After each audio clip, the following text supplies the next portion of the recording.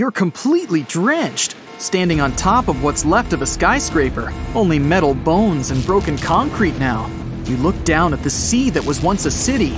You say to yourself, Is this it? The end of humanity?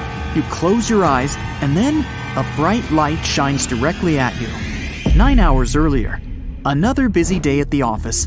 You're sitting at your desk in your personal office space on the top floor of the tallest building in the city. Yes, you've done pretty well for yourself in your career. The beautiful panoramic view is unbeatable. Floor to ceiling, thick glass windows and crystal glassware all around. But you can't really enjoy such a magnificent view since you're buried in work. Your large screen TV blasts some breaking news of unexplainable incidents around the world. You reach to turn up the volume, but your phone ringing pulls your attention away. You turn the TV off and answer the call. It's your brother. He says he's flying in from out of town and wants to see you. But it's the usual excuses for you. You're swamped with work and behind deadlines. Speaking of which, it's almost lunchtime and you still haven't gotten through half your work for today. That's when you notice some liquid dripping down your computer screen. You grab a tissue to wipe it off. But what's this? You can see the insides of your monitor where you just wiped the drip. You look closer and see even more liquid rolling down. More of the screen's insides are becoming visible. You jump out of your seat nervously. Just then, you see a drip rolling right in front of your eye. There goes another one. You yank your glasses off, only to see their lenses seem to be melting too. You grab your phone to call someone, but as soon as you try to dial the number, you feel more liquid. The phone screen is also melting and dripping all over you. You throw your phone across the room in horror. That's when you glance over at the windows, liquid cascading down from all the corners. You slowly approach and examine it, your heart beating out of your chest. You poke your finger, and it punctures through the five inches of thick glass. Then you stick your entire hand through it.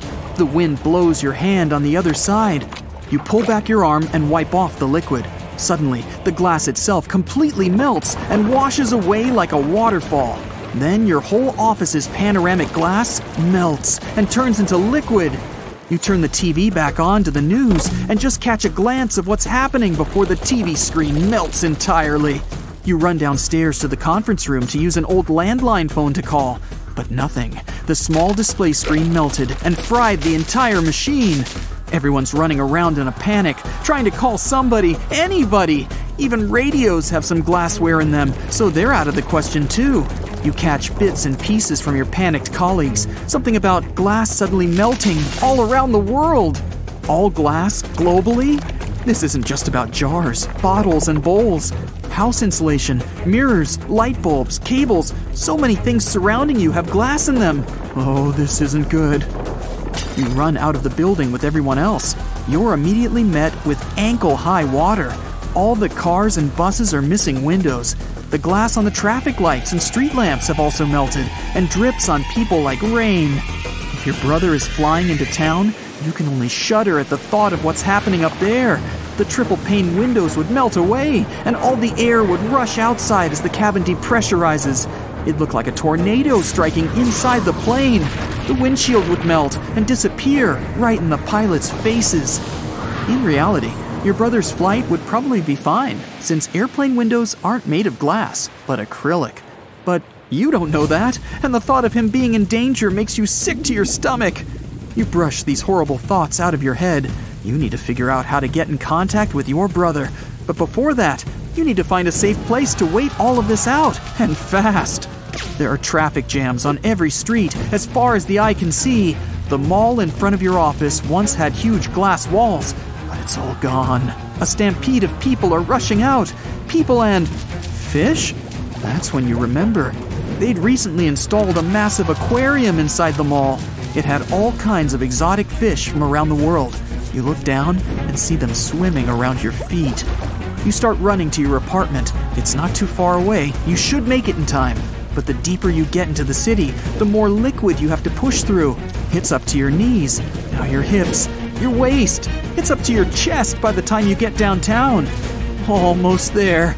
But you can't make it to your building. The waves are too powerful, and there are too many obstacles in the way. A hot dog stand floats past you.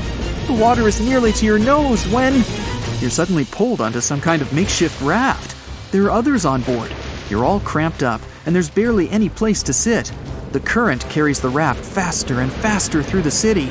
And that's when you see it. What was once the hill everyone loved to ride bikes and skateboard down is now going to be an extreme water park ride that nobody asked for. Everyone braces themselves before. Whoa! This is even tougher than whitewater rafting. Everyone gets tossed off board and falls into the glass flood. You try to swim back to the raft, and then you see it. Them! Dozens of shark fins! Oh, of course. You're almost to the part of town where the city aquarium is. Well, was. The sharks start swimming toward you. You're about to be their midday snack when you quickly swim into a window of the nearest building to you. They can't get in. You're safe. For now. This building, the whole city, the entire world, it's all about to be underwater. Your only choice is to get to the roof. But the water gushing down the stairs keeps pushing you back as you climb them. All the while, the water behind you on the lower floors is rising faster than you can climb. You finally make it and see the whole view in front of you. Almost everything is submerged, save for some skyscrapers and everything on hills. The glass flood got to the coast, and now it's all mixed with the sea. You watch some cargo ships floating their way downtown, smashing into buildings and causing even more chaos. Is this it? The end of humanity? You close your eyes, and then a bright light shines directly at you. A helicopter points a beam of light right at you and releases a ladder for you to climb. Without thinking twice, you scale up and dry off. The pilot turns around and, what luck! It's your brother who came into town to see you. He just happens to be a professional pilot, helping everyone he can. He takes you to a survivor camp with others. Scientists can't explain what's going on, apart from glass spontaneously turning into liquid. Some glass slowly liquefies, like ice melting under the hot sun, while the other glass quickly converts in a matter of seconds. You find out that the Earth's water level has increased by 30%. That's enough to flood coastal cities like the one you live in. Some small islands were submerged completely. Many of them experienced tidal waves after intense liquid formation occurred. Think of it like dropping an ice cube into a glass of water, but scale it up. The ripples in the glass were the tidal waves, and instead of the ice cube remaining, it melted instantly and spilled out to the rest of the world. Many glaciers and icebergs around the poles broke and drifted off closer to the equator.